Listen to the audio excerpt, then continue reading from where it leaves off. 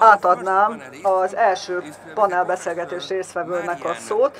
Marian Bojagyévről van szó, aki a vezetői, illetve szervezési témákban előadó a Skopjai Amerikai Egyetemen és az egyetem rektora. 2010 és 18 között volt az egyetem rektora. 2017 óta professzor a az Észak-Macedóniai Magyar Tanács tagja is, és a nemzetközi üzleti menedzsment tárgyat tanítja a Triesti Egyetemen. PhD fokozatot szerzett közgazdaságtanból, New Yorkban, a Harvard Business School-on is oktatott, és a harmadik legnagyobb Észak-Macedón bank igazgatóságában is részt vett, illetve a Skopjai városi önkormányzatban is. Professzor, átadnám önnek a szót, és nagyon sok kérdést tettem föl, igazából az ön vélemény érdekel, aztán majd az azt követő vita. Köszönöm szépen. Működik, igen. Először is azzal indítanék, hogy elnézést kérek a görög nagykövettől. Egy helyen Észak-Macedónia helyett Macedónia szerepel. Szeretném rögtön jelezni, hogy ez nem szándékos, semmi, semmilyen szándék nem húzódik mögötte. Szeretném e, igazából elkerülni, hogy bármilyen feszültség e, következzen be a diplomáciai kapcsolatainkban. Úgy gondolom, hogy az Észak-Macedón görög megállapodás a legjobb dolog, ami történhetett, úgyhogy elnézést kérek. Hogyha megnézzük a mostani állapotokat, és megnézzük Európa mostani térképét, akkor amikor ezekről a témákról beszélünk, itt csatlakozásról, integrációról, vagy a folyamat befejezéséről van szó. Most ugye Nyugat-Balkáról beszélünk, ami egy olyan terület, ami nem létezett, mielőtt Bulgária és Románia az Európai Unióhoz csatlakozott. Előtte Balkánról beszéltünk általában, azóta megszületett a Nyugat-Balkán fogalma.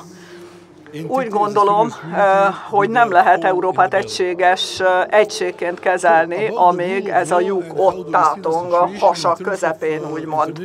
Ami pedig a jogállamiságot illeti, ezt világosan illusztrálni kell az Európai Unió felé.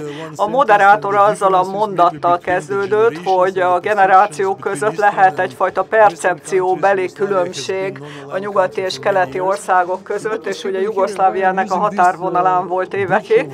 Tehát hogy lehet átidalni ezt a különbséget? A jogállamiság azt jelenti, hogy mindkét félnek valamit le kell tenni az asztalra, Észak-Macedóniának is, meg az Európai Uniónak is. Mi nagyon sok mindent megváltoztattunk, változtattunk, kétszer alkotmányt módosítottunk, nem csak igazából a nevét. 2018-ban egy nemzetközi megállapodás is született, amit az Európai Bővítési és Külügyi Biztos is támogatott.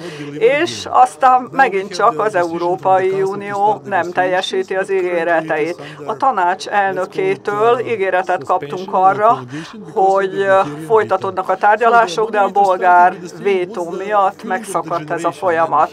Tehát itt van a bolgár nagykövet is közöttünk, és szeretném átadni az üzenetet, azt, hogy az üzenet eléggé szörnyű, negatív üzenet.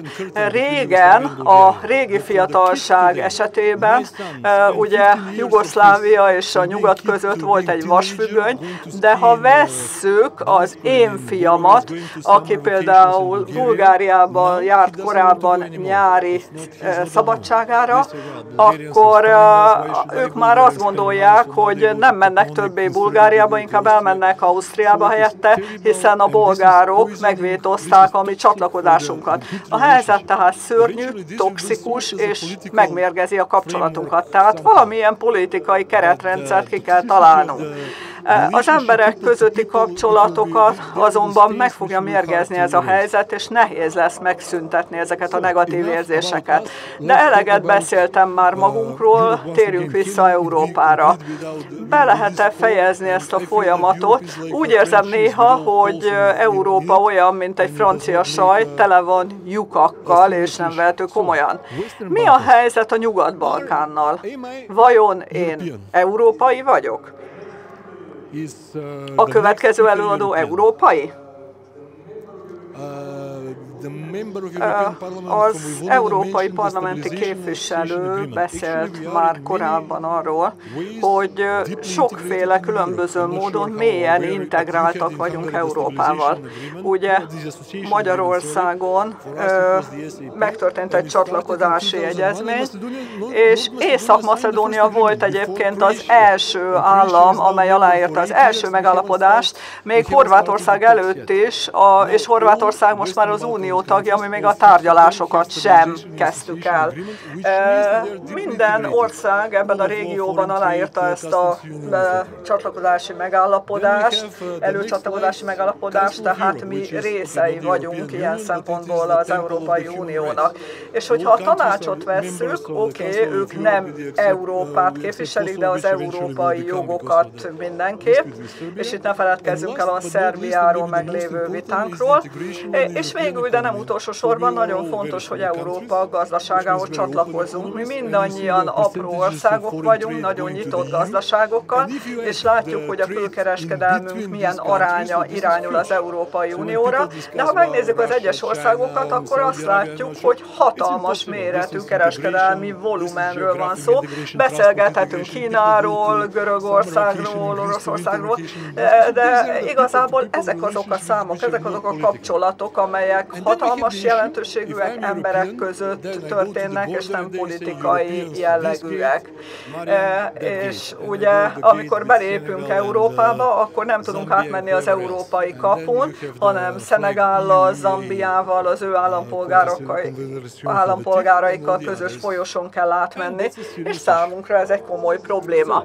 Tehát a javaslatom közvetlen, és az első panelben nyilatkozott biztos is utalt erre, nevezetesen az a gondolat, hogy az Európai Uniónak dolgoznia kell azon, hogy az európai gazdasági közösségbe azonnal integrálja a nyugat-balkáni régiót, ehhez az Európai Gazdasági Térségről szóló megállapodás 95., 98. és 128. cikkét kell módosítani. Ez a, ezt a megállapodást a tagállamok írták alá.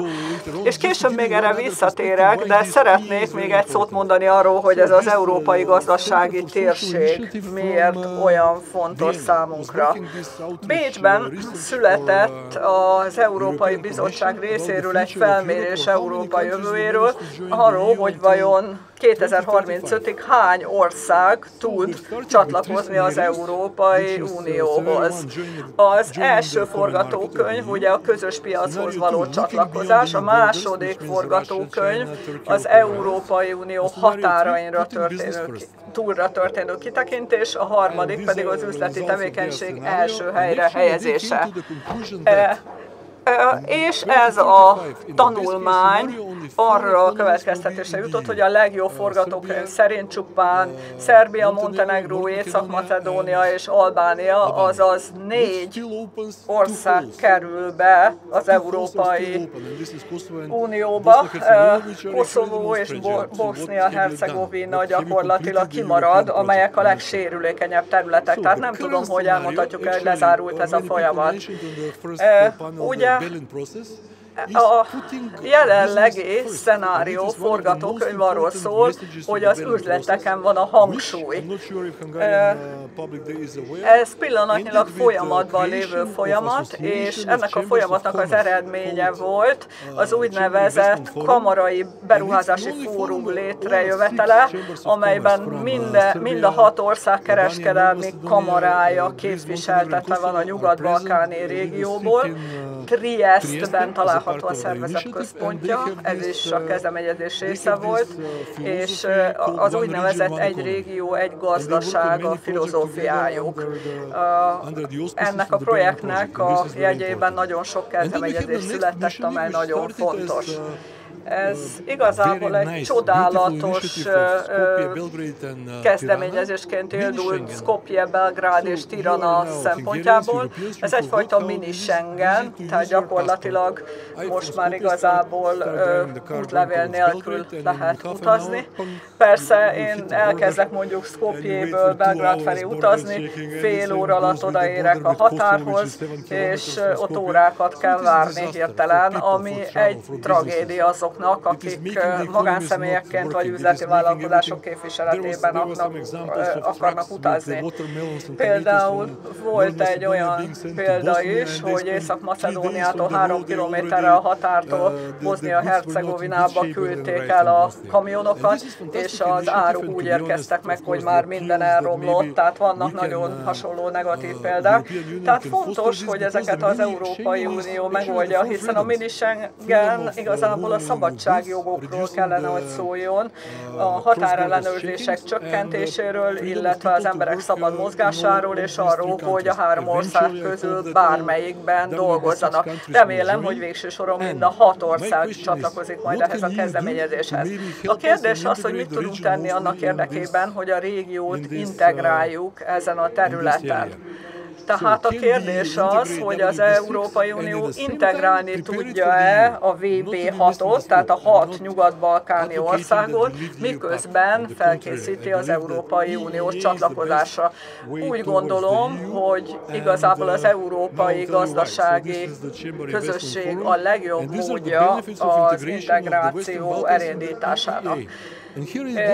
Azt láthatjuk, hogy itt a különféle csoportosulások statisztikáit foglaltuk össze, és azt látjuk, hogy a konzultációban a VB 6-os országok is részt fognak venni, illetve ez lenne fontos ahhoz, hogy úgy érezzük, hogy részesei vagyunk ennek a folyamatnak, nem vagyunk kizárva. A jogállamiság ennek az egyik legfontosabb szempontja, több szabály is van, de ez a legfontosabb, és úgy gondolom, hogy a VB6-os országok ebben teljesítenek legrosszabbul. Nagyon magas a korrupció, a bírósági rendszerre is ez jellemző, és ez igazából évek óta romlik, és ez szétrombolhatja az egész rendszer. Hogyha elmegyünk a volt Jugoszláviába, akkor azt láthatjuk, hogy nagyon sok minden jól működött az osztrák-magyar befolyást megelőzően. Igazából nagyon jól működött az államrendszer, mondjuk a balkáni régió keleti területeitől eltérően, ahol az ottomán uralomnak lehetünk tanúi. Tehát eddig így néz ki a közös helyzet az országainkban.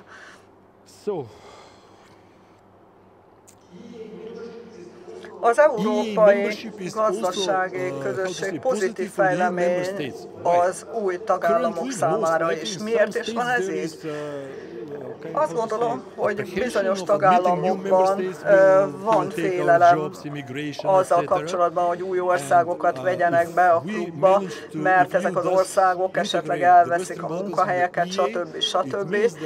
De ha sikerül a VB6-os országokat is integrálni, akkor ez azt jelenti, hogy az emberek ugye dolgozhatnak az Európai Unióban, de nem telepedhetnek le. Ez komoly védelmet nyújt az Európai Uniós országok számára, különösképpen azok számára, akik nem akarnak több migránst befogadni. Végső soron igazából lehet-e európai nagyság anélkül, hogy a politikai befolyását megtartaná. Tehát mi történt az Egyesült Államokban, nézzük meg.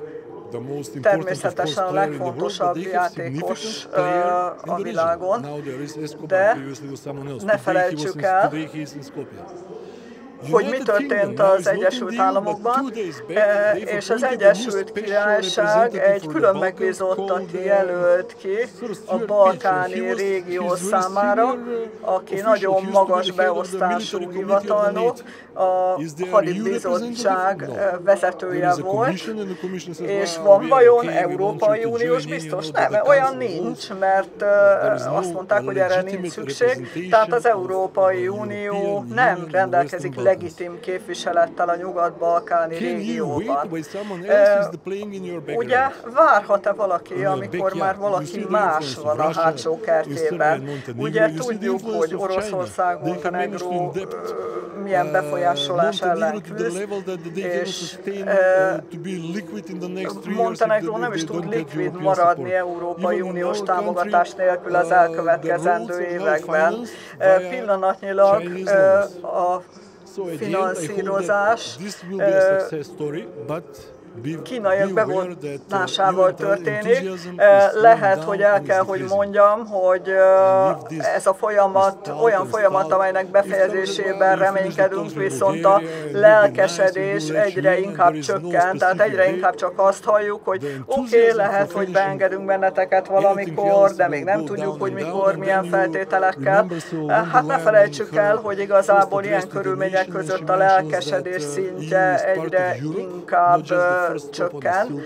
Azt se felejtsük el, hogy az Európai Unió Európa része is, és nem csak az első lépés a Sejem úton, úgyhogy ennek jegyében reméljük, hogy eh, ezt a témát továbbra is napirenden tartjuk, és senki nem fog lemaradni a régióból. Nagyon szépen köszönöm a figyelmet.